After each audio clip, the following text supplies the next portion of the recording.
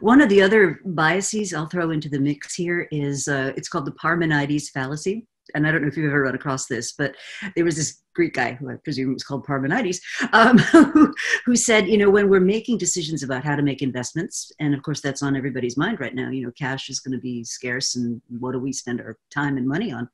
Um, and he said, what people will do, a bias, is we compare state A, which is where we are today, with state B, which is what we're looking at tomorrow. And very often we find state A to be much more preferable.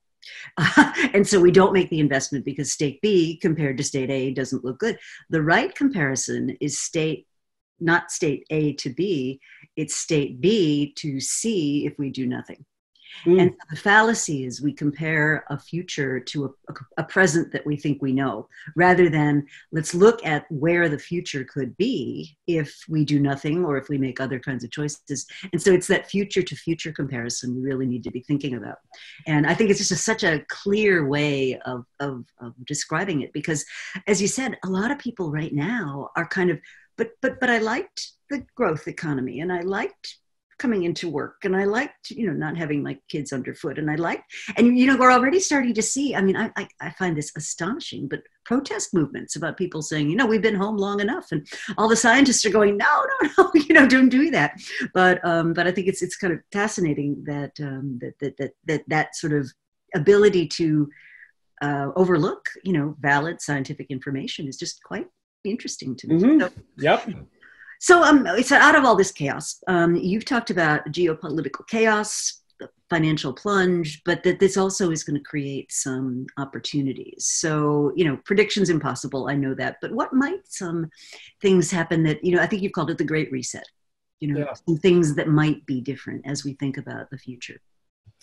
Well, the great, I mean, the great, the spirit of the great uh, reset was really is a is a series of three pieces. One is about what just happened and how to think about that, and then secondly is as a, as an outside force. So then the second one we're just publishing this week is called the new now and the new future, which is okay, what does that mean for me and my company? Mm-hmm. And the third one, which we're writing, uh, will come out next week, is called the refounder, which is what's what's my job now? Like what's my job in the leadership team? Yeah. And um, it's really a framework to think about large force force as a team, force as an individual.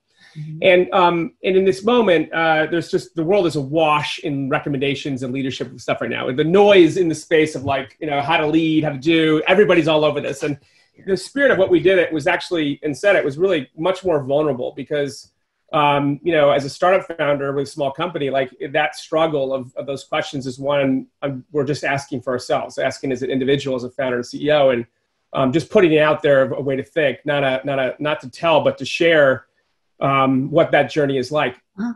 Largely for the team, uh, when you're is is to separate um, for the past, which is the acceptance part. The reset is about letting that go. To your points around the behavioral psychology and recognizing those.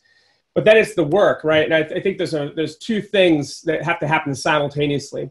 One is to create a new now, which is to reset the metrics, reset the goals, uh, all the expectations around really uniting the team in its resolve in this moment about what is the work to do to with what we have now.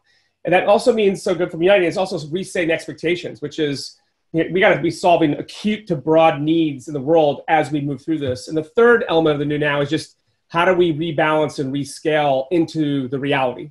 So that new now really frames the what do I need to do with what I have?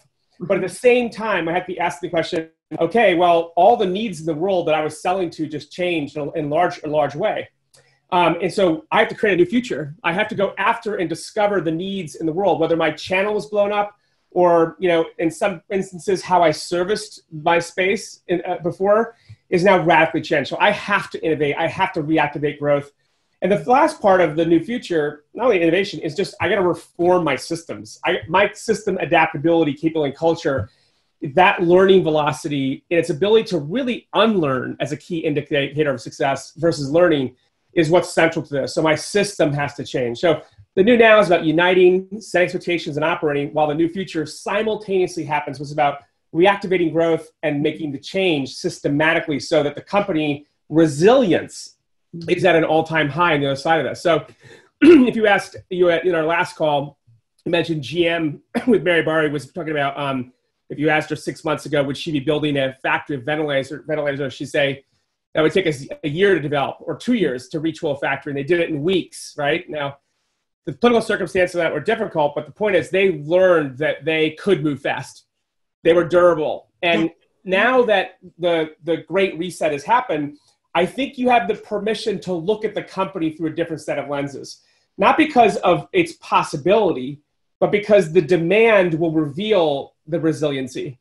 Yeah. And once that it's, it's it's a gift because once you realize that you can move fast when old truths are no longer worth preserving, then you have the ability to rediscover that that resilience because you are granting the permission mm-hmm. and that's the moral authority that we have right now is to actually go do it and so the, to lower the cost of failure by permission but also lower cost of failure because those systems are no longer worth it now we create the ability to get to truth faster. And that is the moment i think we're in as a leader that creates a new resiliency going forward